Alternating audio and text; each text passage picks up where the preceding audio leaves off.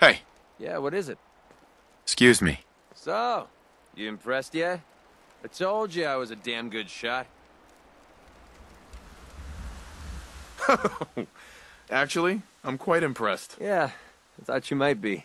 I'm completely self-taught, you know. Picked up a sniper rifle when I was 10 and never looked back. Always thought it was smarter to hit my targets at long range.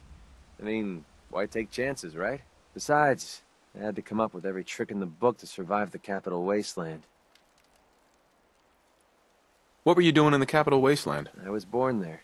Lived underground in a place called Little Lamplight with a bunch of other kids. Left there when I was around 16. We kind of had a policy there. No adults. When you were 16, you packed up and left. I know, it sounds crazy, but having adults around was something we couldn't trust. How could a bunch of kids survive without help? Everyone pulled their own weight. Just like a colony you'd find anywhere. We all had our designated jobs and we watched each other's backs. Can you believe I was actually the mayor for a while? Me. Crazy, I know. Pretty brave. A bunch of kids living alone like that. I don't know. Looking back on the whole thing, I think we were just lucky.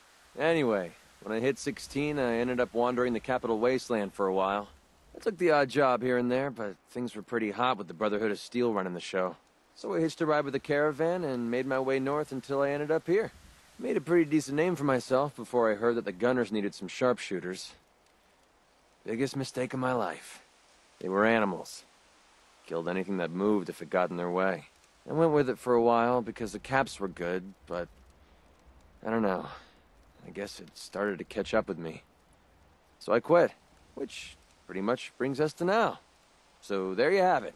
My whole life in a nutshell. Thanks for sharing that with me. Well, you've earned it.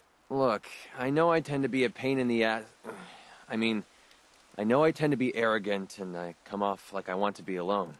Nothing could be further from the truth. Being alone scares the heck out of me. Now that we've been traveling together for a while, I'm beginning to realize how much I missed having someone I could depend on.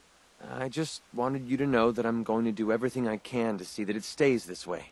Well, that's all I had to say. Hope you got something out of all that. I know I did.